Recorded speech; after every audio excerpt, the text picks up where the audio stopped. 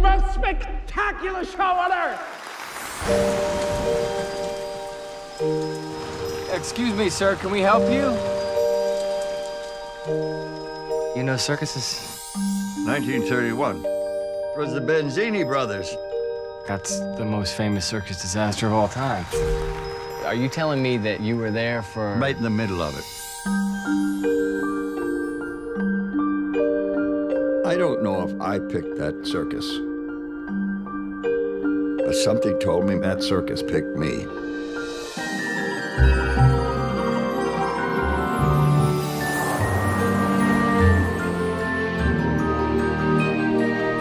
The world's run on tricks. Everyone plays. You're a beautiful woman. Deserve a beautiful life.